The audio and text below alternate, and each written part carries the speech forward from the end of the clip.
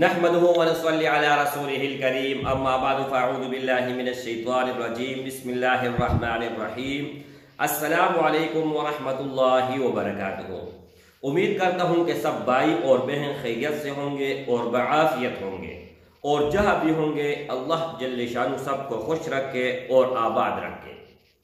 صرف ایک بول بولیں۔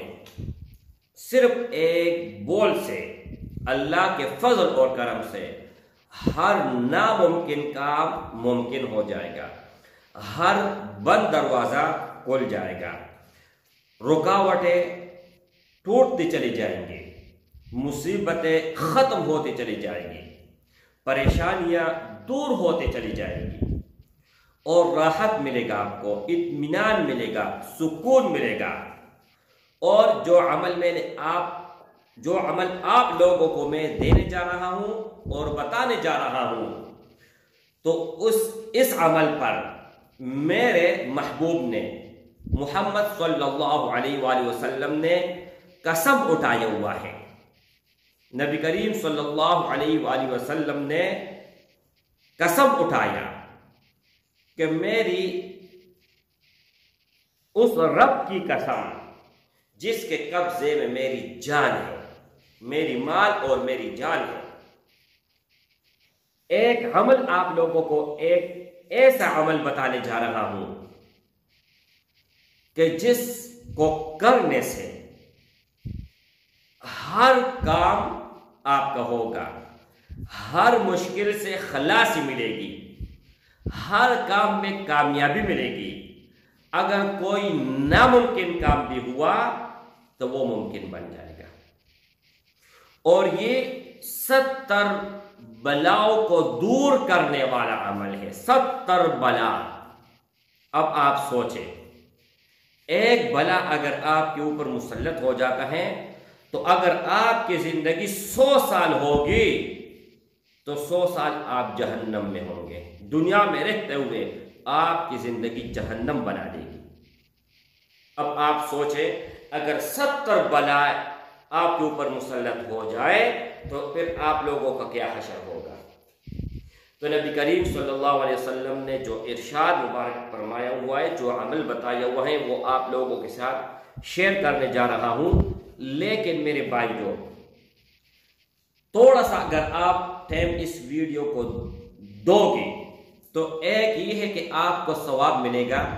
آپ کا ٹائم ضائع نہیں ہوگا۔ اور یہ زندگی بھر کے لیے آپ لوگوں کے لیے کرامت ہوگی اور آپ آگے بھی لوگوں کو تعلیم دے سکو گے بتا سکو گے ایک بول، وہ بول کون سا بول ہے؟ اب وہ تین لوگ تھے، اس سے آپ لوگوں کو سمجھ میں آ جائے گا۔ اس سے اچھے طریقے سے آپ لوگوں کو میں سمجھا پاؤں گا۔ تین لوگ تھے، جو کہ کہیں پر گئے ہوئے تھے، دوست تھے۔ چکر کے لیے گئے ہوئے تھے سیل سپا کے لیے گئے ہوئے تھے۔ تو وہ ایک پہاڑ کے اندر گئے، ایک غار کے اندر گئے۔ اور جیسے وہ اندر گئے تو وہ غار بند ہو گیا، ایک پتھر آ کے وہ بند ہو گیا۔ اب موت کے سوا کوئی دوسرا راستہ نہیں تھا۔ صرف اور صرف موت ہی کا انتظار کرنا تھا کہ بس موت آ جائے۔ اچھا۔ اب وہ تین لوگ تھے اور رونا دھونا اس نے شروع کر دیا اور اللہ سے مانگنا شروع کر دیا۔ لیکن یہاں پر جو سمجھنے کی بات ہے اور کمال والی بات ہے، وہ اب شروع کرنے جا رہا ہوں۔ ایک آدمی نے ایک زندگی میں ایک ایسا عمل کیا تھا کہ صرف اور صرف اس بندے کو پتا تھا اور اس بندے کے رب کو پتا تھا اور کسی کو پتا نہیں تھا۔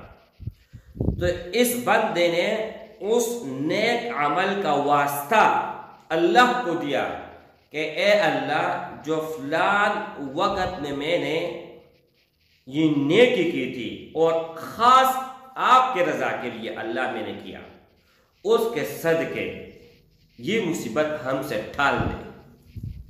تو وہ پتھر تھوڑا سا ہٹ گیا اور روشنی آنا شروع ہو گئی۔ ایک زندگی کی روشنی آئی اور ایک باہر سورج کی روشنی آئی۔ اب یہ دوسرا شخص تھا، اس نے کہا کہ اگر میں یہاں سے زندہ سلامت نکلا تو اس نے ایک نظر مانگی کہ میں اللہ کے راہ میں ایک اونٹ خرچ کروں گا، اللہ کے راہ میں ان کو ذبح کروں گا۔ تو وہ پتھر آدھا چلا گیا، آدھا رہ گیا اور آدھا غار کے اوپر تھا۔ اب تیسرا جو آدمی تھا، اس نے کہا کہ اے اللہ، اگلا، پچھلا جتنا بھی میں نے گناہ کی ہوئی ہے، ان پر میں توبہ کرتا ہوں اور آپ کو گواہ بناتا ہوں۔ صرف آپ ہی ہیں جو آپ مجھ کو سن سکتے ہیں اور کوئی نہیں ہے۔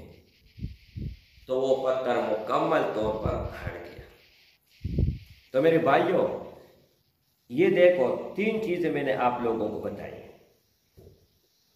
نبی کریم صلی اللہ علیہ وسلم نے فرمایا کہ میری اس رب، اس ذات کی قسم جس کے قبضے میری جان ہے، کہ سود سے مال کم ہوتا ہے، بڑھتا نہیں ہے۔ بظاہر اگر آپ سود کرو، کرتے ہو، آپ کسی کو ایک لاکھ ادار دیتے ہو، تو سود کا تقاضا یہ ہے کہ آپ کو سود سمیت اگر واپس کرے تو ایک لاکھ دس ہزار، ایک لاکھ بیس ہزار زیادہ کر کے آپ کو واپس کرے گا، کم کر کے نہیں۔ لیکن میرے محبوب نے قسم اٹھایا ہے کہ سود سے مال کم ہوتا ہے، زیادہ نہیں ہوتا۔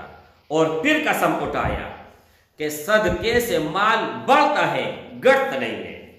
اب میرے پاس مثال کے طور پر ایک لاکھ روپے ہیں، میں نے دس ہزار کسی کو اللہ کے راہ میں دے دیا ہے کسی کو صدقہ دے کر، صدقہ سمجھ کر کسی کو دے دیا تو نبے ہزار رہ گیا۔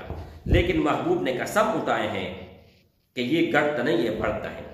بظاہر یہ گٹتا ہے۔ آپ نے دس ہزار خرچ کیا تو دس ہزار کے بدلے اللہ دس لاکھ دے دے گا۔ اور جس نے سود کیا ہے لاکھ روپے ادار دے کر اوپر بیس ہزار لیا۔ تو اس کے بیس ہزار اوپر، اس کے اوپر مصیبت آئے گی، پریشانی آئے گی۔ وہ جو مال آئے گا، اس کے کسی کام نہیں ہوگا، بلکہ ایک لاکھ سے زیادہ ان کا خرچ ہوگا۔ تو کون سا بہتر ہے میری بھائی؟ آپ بتائیں۔ سب سے زیادہ بہتر کون سا ہے؟ تو ویڈیو بنانے کا مقصد اور مطلب یہی ہے۔